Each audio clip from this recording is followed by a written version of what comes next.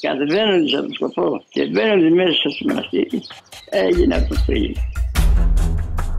Τα μουσεία μπορεί λόγω κορονοϊού να παραμένουν κλειστά, ωστόσο ένα βίντεο που δημοσίευσε το Μουσείο Μπενάκη σηματοδοτεί την έναρξη της έκθεσης «Ο τελευταίος μοναχός των στροφάδων». Η έκθεση αναφέρεται στην ιστορία του καστρομονάστριου των στροφάδων που έχει τις ρίζες του στον 13ο αιώνα.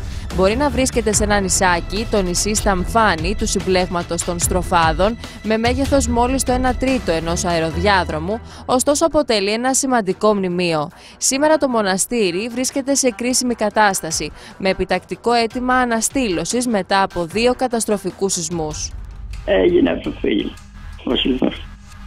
Αν πέσει τώρα τελείως υπόθεση. Άλλο δεν πιάνεται.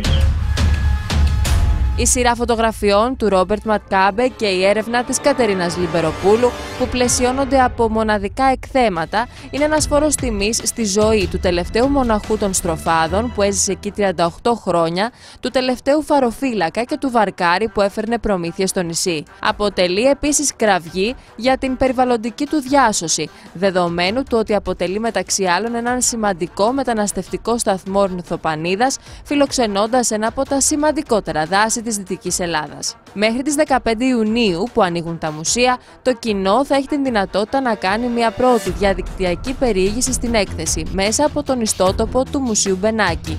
Ενώ μόλις ανοίξουν ξανά οι πύλες του μουσείου θα μπορέσει να την απολαύσει και διαζώσεις έως και τις 13 Σεπτέμβρη του 2020. Η έκθεση γίνεται υπό την αιγίδα της Προέδρου της Δημοκρατίας Κατερίνα Σάκελαροπούλου και του Οικουμενικού Πατριάρχη Βαρθολομαίου.